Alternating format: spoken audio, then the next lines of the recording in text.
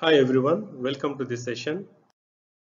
In the last video, we have seen a little bit about pre-trained CNN models, use of frameworks in designing CNN models, how we can retrain the pre-trained CNN model, and we have also seen the steps that are involved in building CNN models.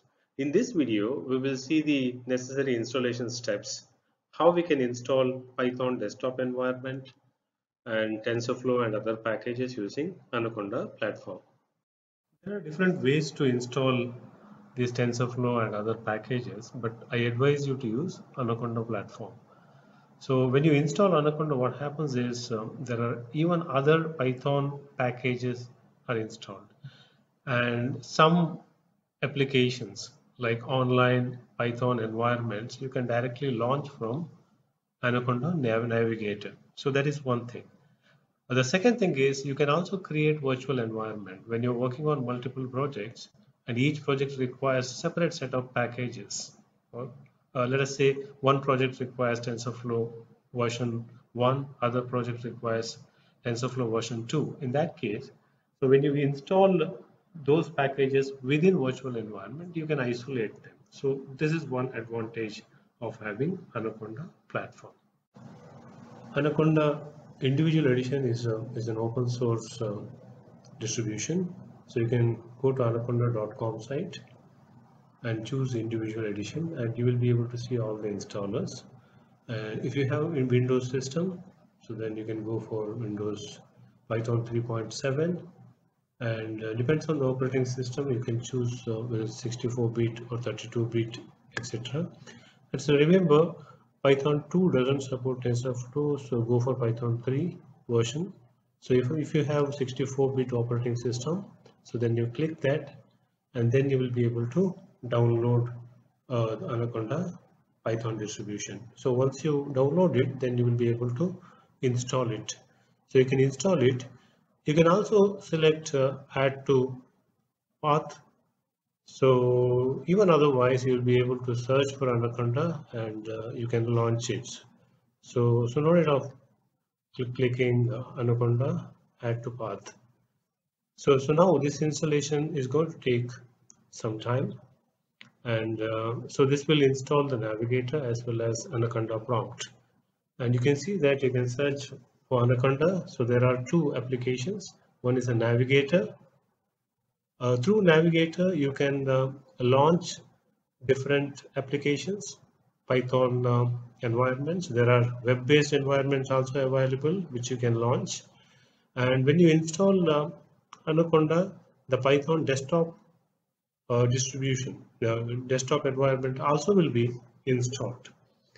Okay, so now this uh, slide shows some of the packages which can be launched from here. For example, Jupyter Notebook, Jupyter Lab.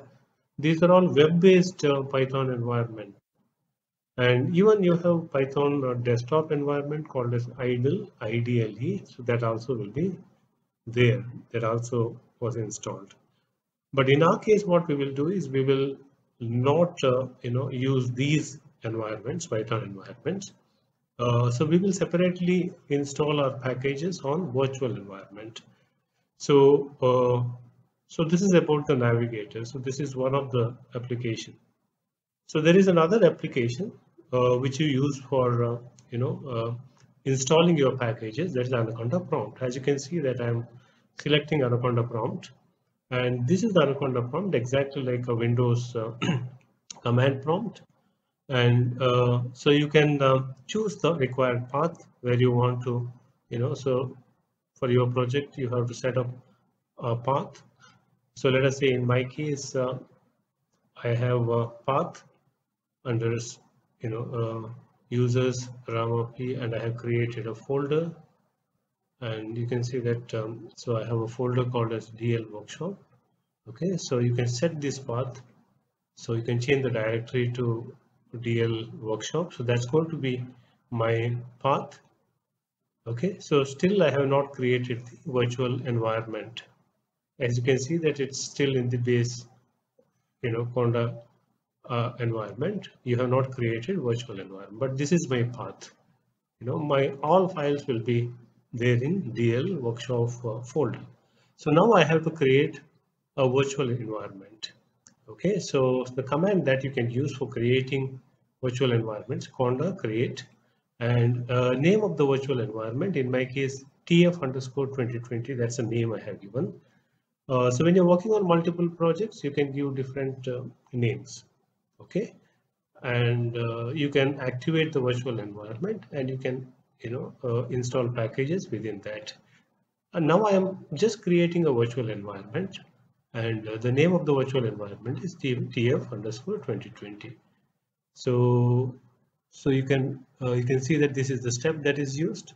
So I created the virtual environment. Okay so but I have not activated it. Still if you observe here still it's in the base um, you know command prompt.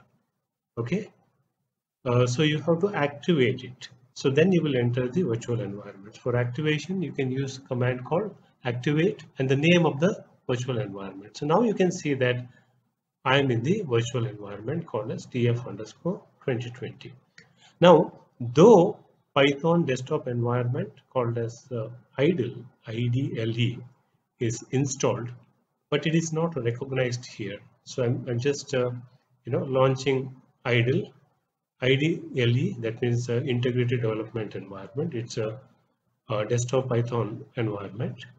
You can see that it, it is not recognized because this is a virtual environment which all packages you need you install it.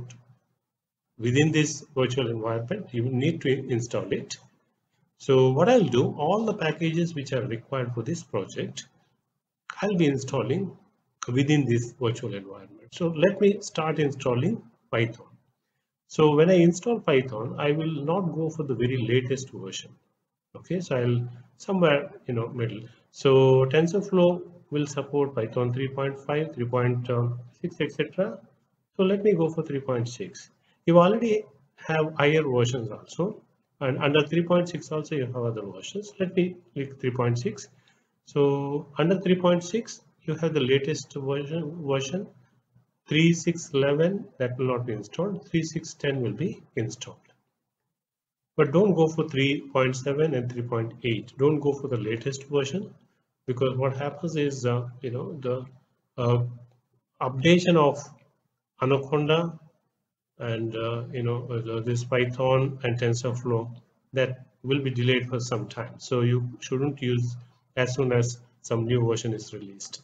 So python is being now installed. You can see that uh, along with python some other packages are also installed here. The packages which are required. You have something called as a pip pip is uh, you know python installer uh, tool. Using that pip also you'll be able to install some. So this is the idle desktop version.